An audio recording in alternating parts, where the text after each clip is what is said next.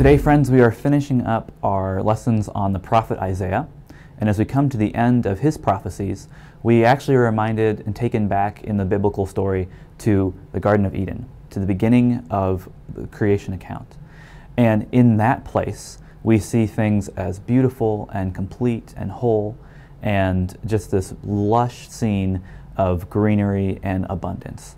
Everything is brand new and it's wonderful.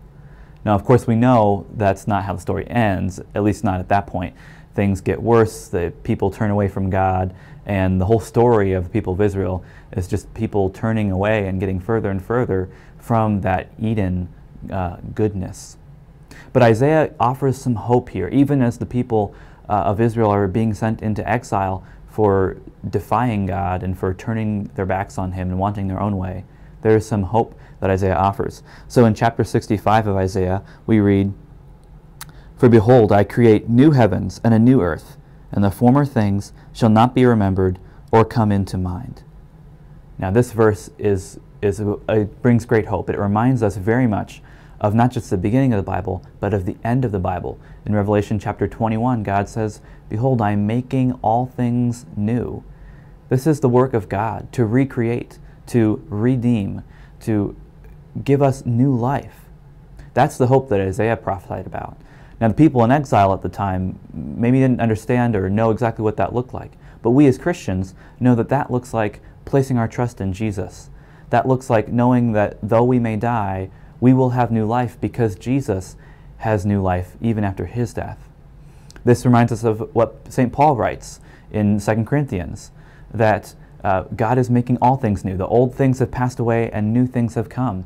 This hope that we have as Christians is for newness, new life, just like the Garden of Eden, but in a, a, better way, in a, in a more complete way, that it is totally new. And even here, Isaiah says that the former things shall not even be remembered, that our sins, God will forget, forgive, and forget our sins and all this evil that we have seen in this life will all be gone, replaced with new life.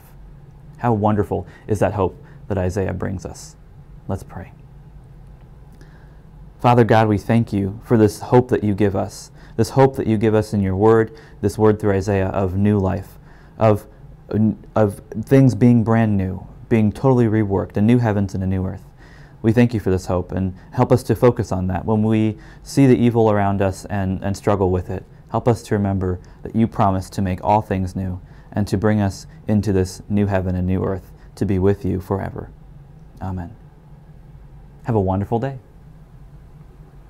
Thank you for watching. We hope you enjoyed the video. You may subscribe to our YouTube channel by clicking on the icon or watch similar videos by clicking on the link.